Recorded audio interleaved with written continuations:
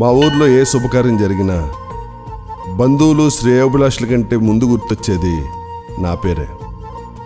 దానికి కారణం నా చేతి వంట. ఆ రుచికి ఆయువు శ్రీ గోముఖి నెయ్యి. ఒక్క మాటలో చెప్పాలంటే ఇది వంటలకే సంజీవని.